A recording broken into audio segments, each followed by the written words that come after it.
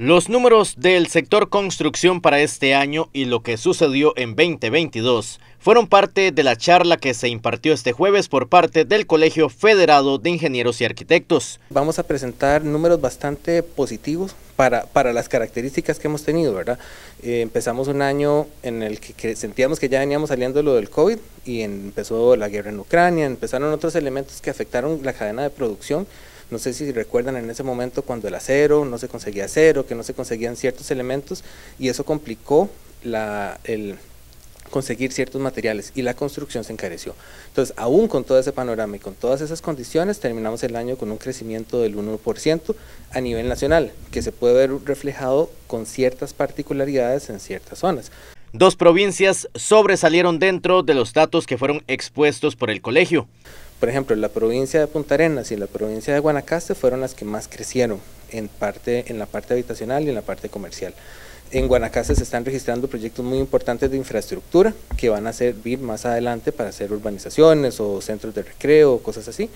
Y por el otro lado, este, San José, Alajuela son cantones que se siempre la mayor cantidad de, metros cuadrados y, ese es más o menos el panorama que traemos.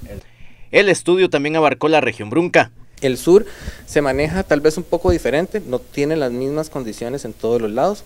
Eh, tal vez la zona de Osa, la zona de Golfito está teniendo un repunte importante de proyectos turísticos. La zona de Pérez León y Buenos Aires, que dependen principalmente de los bonos de interés social, se han visto muy afectados al igual que el resto del país con bonos.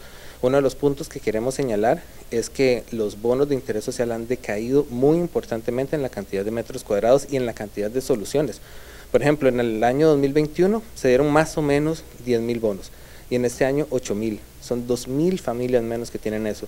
Y Pérez León es una de las zonas donde se concentran principalmente la construcción de bonos. Uno de los expositores destacó la importancia del conocimiento sobre estos datos. Nosotros siempre lo que decimos es que si un profesional, una empresa o alguien que quiere invertir lo hace con, conociendo cómo se está comportando, puede invertir de una forma mejor.